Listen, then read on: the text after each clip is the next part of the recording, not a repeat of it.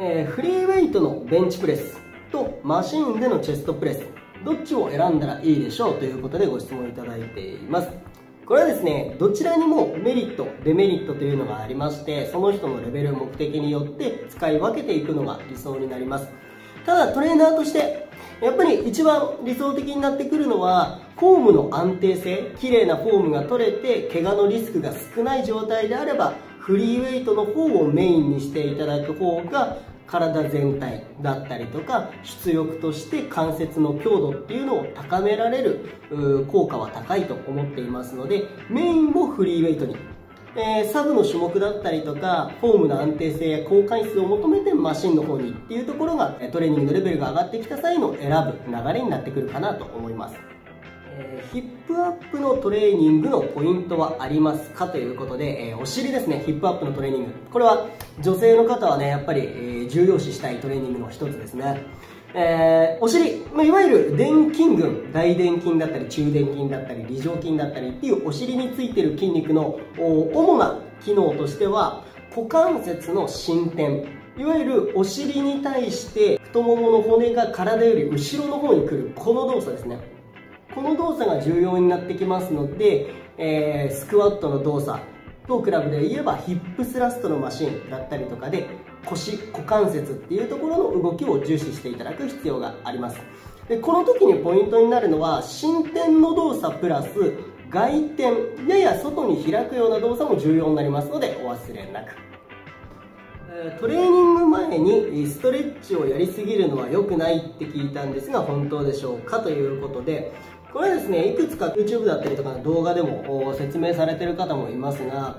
静的ストレッチえー、ゆっくりギューッと伸ばすようなストレッチっていうのは体に対して筋肉が伸びる方に力を加えていますのでその後トレーニングするってなると筋肉とか関節が緩みすぎちゃう場合があるので、えー、あまりやりすぎない方がいいよっていう風なのが理論的なところになります。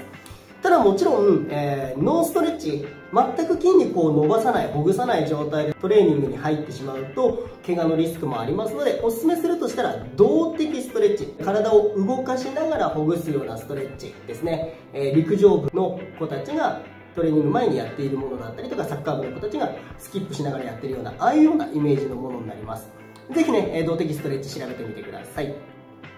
えー、トレーニングの動画などでよく聞く強度。って何ですかということでこれ強度っていうのを一言で説明するのはなかなか難しくてなぜかっていうとちゃんとした定義っていうところが定まってない状態でトレーナーの人たちも使ってる場合が多いんですねでシンプルなことを言うと、えー、強度っていうのは重量トレーニングで扱う重さかけることのを上げる回数レップ数と呼ばれるものになってきますね。一言にその強度っていうだけじゃなくいかに狙った筋肉に強い刺激が入ったかいかにダイレクトに刺激が入ったかっていうところも強度っていうふうに言う場合がありますので一概にね、え、その辺りっていうのは言う人によって若干の誤差があると思っていただいた方がいいかなと思います。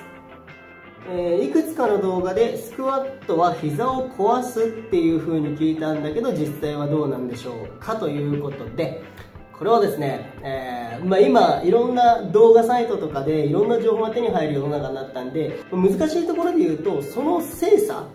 どのぐらい正しいかとかどのぐらい自分に合ってるかっていうところを選ぶ目がないとなかなか今の世の中ね情報を正しく仕入れるというところが難しくなってきます。で結論から言うとスクワットをすると膝を壊すっていうわけではなくわけではなくどんな種目であれフォーム体の使い方だったりとかえー、扱う重さだったりとかいろんな部分が正しいところからずれればずれるほど怪我のリスクは上がるっていうだけの話になります。クワットが特段膝を壊しやすいかっていうとスクワットをずっとやってる方でも膝を壊してない方もいますしスクワットをやってないそれ以外の種目しかやってないのに膝を壊す方ももちろんいますので一概にはそういった風には言えないと思います、えー、筋肉量の左右差はどうしたらなくなりますかということでご質問いただきました。これね非常に難しい問題なんですけれども、えー、例えば人って右利き左利きのように基本的に、えー、シンメトリー両方均等に体を使ってないっていうのが普通なんですね。なので筋肉量だったりとか神経の通り方だったりとかっていうのも必ず左右非対称の状態になってるのでタニタの測定器だったりとかで測りましたって言った時に右腕と左腕の筋肉量が0.1違いました、まあ、100g ぐらいですね。違いましたっていうところに関してはあんまり気にしなくてもいいかなと思います。でただご自身で明らかにどっちかの方が筋肉が弱いなっていうふうに感じてる場合は両方使うような種目で弱い方を意識してこっちで押してるんだこっちで押してるんだっていうのを意識しながら動かしてあげるだけで少しずつ改善にはなっていきますのでそういったところは神経脳からの伝達で体を動かしてるっていう部分で意識をしてあげるのが重要になります、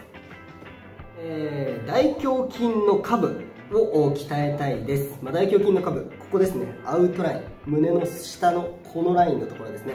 ここを鍛えたいです。ということでマシンで、えー、行う方法はありますかということで質問来ましたが、えー、これはですねマシン自体で胸の下部を鍛えるマシンっていうのはどのメーカーでもあんまりないというか少ないと思います。